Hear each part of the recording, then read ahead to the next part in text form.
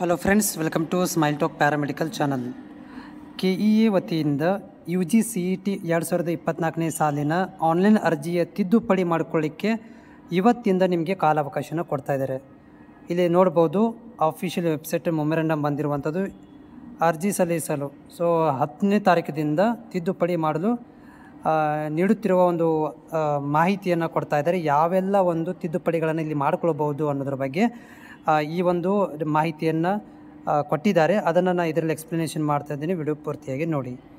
ಒಂದನೇ ಪಾಯಿಂಟ್ ಏನು ಹೇಳುತ್ತೆ ಅಂತಂದರೆ, ನೀವು ಇನ್ ಕೇಸ್ ಆಫ್ ತಿದ್ದುಪಡಿ ಅಭ್ಯರ್ಥಿಗಳು ತಮ್ಮ ರಾಷ್ಟ್ರೀಯತೆ ಅಥವಾ ವಿಳಾಸ, ಬ್ಯಾಂಕ್ ಮಾಹಿತಿ, ಮೀಸಲಾತಿ, ಆರ್ ಡಿ ಸಂಖ್ಯೆ, ಅರ್ಹತಾ ಖಂಡಿಕೆ ಅಂದರೆ ಎ ಬಿ ಸಿ ಡಿ ಅಂತ ಇರುತ್ತಲ್ಲ, ಅದನ್ನು ಅಥವಾ ಅಪ್ಲೋಡ್ ಮಾಡಿರುವ ದಾಖಲಾತಿಗಳು ಏನಾದರೂ ತಪ್ಪಿದ್ದಲ್ಲಿ ಅಥವಾ ಡಿಫಿಷಿಯೆಂಟ್ ಇದ್ದಲ್ಲಿ ಅವುಗಳನ್ನು ಮತ್ತೆ ಅಪ್ಲೋಡ್ ಮಾಡಲಿಕ್ಕೆ ಆಯ್ಕೆ ಮಾಡುವ ಕೋರ್ಸ್ಗಳ ಬಗ್ಗೆ ನಿಮ್ಗೆ ಇನ್ನೂ ಆ್ಯಡ್ ಮಾಡಬೇಕಿತ್ತು ಅಥವಾ ರಿಮೂವ್ ಮಾಡಬೇಕಿತ್ತು, ಅದನ್ನು ಪರೀಕ್ಷಾ ಕೇಂದ್ರಗಳ ಬಗ್ಗೆ ಮತ್ತು ಪಿ ಯು ಸಿ ರಿಜಿಸ್ಟ್ರ್ ಸಂಖ್ಯೆಯನ್ನು ತಿದ್ದುಪಡಿ ಮಾಡಿಕೊಳ್ಳಲು ಇಲ್ಲಿ ಕಾಲಾವಕಾಶನ ಕೊಡಲಾಗಿದೆ.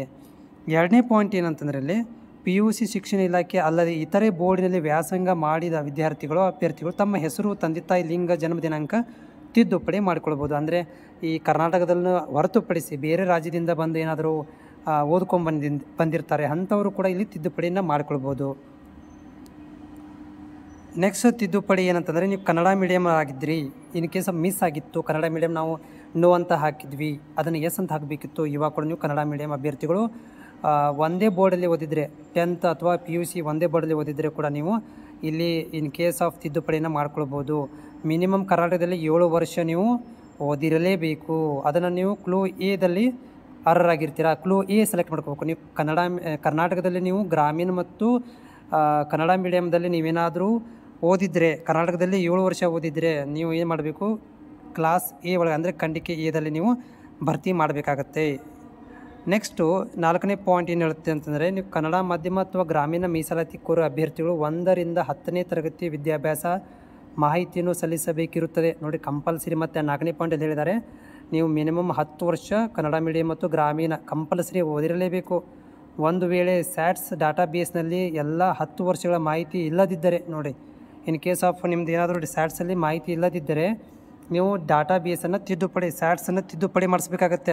ಅದೆಲ್ಲಿ ಮಾಡಿಸ್ಬೇಕು? ನಿಮ್ಮ ಶಾಲೆಗಳಿಗೆ ಹೋಗಿ ಮಾಡಿಸ್ಬೇಕು ಅಥವಾ ಬಿ ಯು ಆಫೀಸಲ್ಲಿ ಹೋಗಿ ಮಾಡಿಸ್ಬೇಕಾಗತ್ತೆ. ಅಲ್ಲಿ ಹೋಗಿ ನೀವು ಮಾಡಬೇಕು ಒಂದು ತಿದ್ದುಪಡಿನ ಮಾಡಿಸ್ಬೇಕು. ಅಂದರೆ ನಿಮ್ಮ ಸ್ಯಾಟ್ಸನ್ನು ತಿದ್ದುಪಡಿ ನೀವು ಮಾಡಿಸ್ಕೊಳ್ಬೇಕಾಗತ್ತೆ. ಅದಾದ ಮೇಲೆ ನೆಕ್ಸ್ಟ್ ಐದನೇ ಕೈ ಏನು ಹೇಳುತ್ತೆ ಅಂತಂದರೆ ಪಾಯಿಂಟು ನೀವು ಖಂಡಿಕೆ ಡಿ ಅಡಿಯಲ್ಲಿ ಅರ್ಜಿ ಸಲ್ಲಿಸಲು ಬಯಸಿದ ಗಡಿನಾಡು, ಅಂದರೆ ಹೊರನಾಡು, ಗಡಿನಾಡು ವಿದ್ಯೆ, ಅಭ್ಯ, ಅಭ್ಯರ್ಥಿಗಳಿದಾರಲ್ಲ ಅವರು, ಏಳು ವರ್ಷ ಆ ಒಂದು ಪ್ರದೇಶದಲ್ಲಿ ಕಂಪಲ್ಸರಿ ಅಧ್ಯಯನ ಮಾಡಿರಬೇಕು. ಮತ್ತು ಗಡಿನಾಡು ಹೊರತುಪಡಿಸಿ ಬೇರೆ ಪ್ರದೇಶದಲ್ಲಿರುವರು ಹತ್ತು ಅಥವಾ ಹನ್ನೆರಡು ವರ್ಷ ಏನಾಗಿರಬೇಕು? ತರಗತಿಯನ್ನು ತೇರ್ಗಡೆಯಾಗಿದ್ದಲ್ಲಿ ಅರ್ಜಿ ಸಲ್ಲಿಸಬಹುದು ಅಂತ ಕೊಟ್ಟಿದ್ದಾರೆ. ಆಮೇಲೆ ಹೆಚ್ಚುವರಿ ಸ್ಯಾಟ್ಸ್ ಸಂಖ್ಯೆಗಳನ್ನು ನಮೂದಿಸಬಹುದು. ಅಂದರೆ ಬೇರೆ ಬೇರೆ ಬೇರೆ ಬೋರ್ಡಿಂದ ಬೇರೆ ಬೇರೆ ಒಂದು ಮಾಹಿತಿಯನ್ನು ತೊಗೊಂಬಂದಿರ್ತಾರೆ ಅವರುಗಳು ಇಲ್ಲಿ ಏನು ಮಾಡ್ಬೋದು? ಬೇರೆ ಬೇರೆ ಸ್ಯಾಟ್ಸ್ ನಂಬರ್ಗಳನ್ನು ಸೇರಿಸಬಹುದು. ನೆಕ್ಸ್ಟು ಹಾಲಿ ಇರುವ ಸ್ಯಾಟ್ ಸಂಖ್ಯೆ ಬದಲಾಯಿಸಲು ಸಾಧ್ಯವಿಲ್ಲ. ಈಗಾಗಲೇ ಏನೋ ಒಂದು ಸ್ಯಾಟ್ ನಂಬರ್ ಜನ್ರೇಟ್ ಆಗಿರುತ್ತೆ. ಅದನ್ನು ಬದಲಿ ಮಾಡಲಿಕ್ಕೆ ಆಗೋದಿಲ್ಲ. ಆದರೆ ನೀವು ಇನ್ನೊಂದು ಸ್ಯಾಟ್ ನಂಬರನ್ನು ಸೇರಿಸಬಹುದು. ಏಳು ವರ್ಷಕ್ಕಿಂತ ಕಡಿಮೆ ಅಭ್ಯಸಿಸಿದ ಅಭ್ಯ ಅವಧಿಯ ಸ್ಯಾಟ್ಸ್ ಡಾಟಾಬೇಸ್ ನಮೂದಿ, ನಮೂದಾಗಿದ್ದಂಥ ವಿದ್ಯಾರ್ಥಿಗಳು ಮ್ಯಾನುವಲಿ ಅಪ್ಲೋಡ್ ಮಾಡ್ಬೋದು. ಸೊ, ಇಲ್ಲಿ ಏನು ಮಾಡ್ಬೋದು ಅಂದರೆ ಏಳು ವರ್ಷಕ್ಕಿಂತ ಕಡಿಮೆ ಏನಾದರೂ ನಿಮ್ಮ ಡಾಟಾಬೇಸಲ್ಲಿ ಏನಾದರೂ ಇದ್ದರೆ ಏಳು ವರ್ಷಕ್ಕಿಂತ ಕಡಿಮೆ ಇದ್ದರೆ ಅವರು ಮ್ಯಾನುವಲ್ ಏನು ಮಾಡ್ಬೋದು ಅಂದರೆ ಇಲ್ಲಿ ಅಪ್ಲೋಡ್ ಮಾಡ್ಬೋದು ಅಂತ ಕೊಟ್ಟಿದ್ದಾರೆ.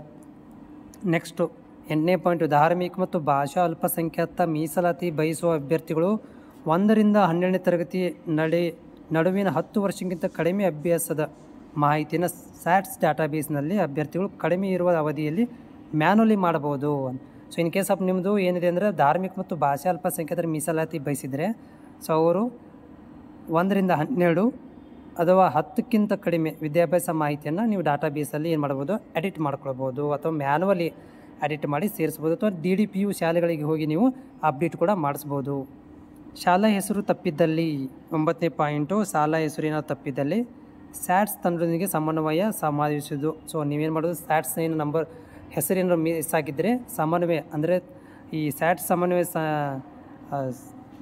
ಜೊತೆಗೆ ಡಿಸ್ಕಷನ್ ಮಾಡಿ ಪ್ರಾಧಿಕಾರ ಜೊತೆಗೆ ಡಿಸ್ಕಷನ್ ಮಾಡಿಕೊಂಡು ನೀವು ಸೇರಿಸಬೇಕಾಗತ್ತೆ. ಈಗಾಗಲೇ ಹೇಳಿರುವ ಬೋರ್ಡ್ ಶಾಲೆ ವಿಳಾಸ ತಪ್ಪಿದ್ದಲ್ಲಿ ಅಭ್ಯರ್ಥಿಗಳು ಆರತಿಗೆ ತೊಂದರೆ ಇರುವುದಿಲ್ಲ.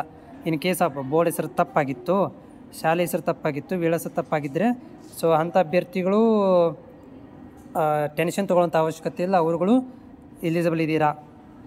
ಆಮೇಲೆ ಎ ಐ ಒ ಎಸ್ನಲ್ಲಿ ಏನಾದರೂ ಅಭ್ಯಾಸ ಮಾಡಿರೋ ಅಭ್ಯರ್ಥಿಗಳು, ವ್ಯಾಸಂಗ ಪ್ರಮಾಣ ಪತ್ರಕ್ಕೆ ಬದಲಾಗಿ ಎ ಒ ಎಸ್ ಯು ನೋಂದಣಿ ಮಾಡಿಕೊಂಡಿರುವ ಪತ್ರವನ್ನು ಅಪ್ಲೋಡ್ ಮಾಡ್ಬೋದು. ಈ ಡಿಸ್ಟೆನ್ಸ್ ಮೋಡ್ ಮೇಲೆ N I N I O S ಅಲ್ಲಿ ಮಾಡ್ಕೊಂಡಿರೋ ಅಭ್ಯರ್ಥಿಗಳು, ಅವರೇನು ಮಾಡ್ಬೋದು, ನೋಂದಣಿ ಅರ್ಜಿ, ನೋಂದಣಿ ಪತ್ರವನ್ನು ಅಪ್ಲೋಡ್ ಮಾಡ್ಬೋದು ಅಂತ ಹೇಳ್ತಾ ಇದ್ದಾರೆ.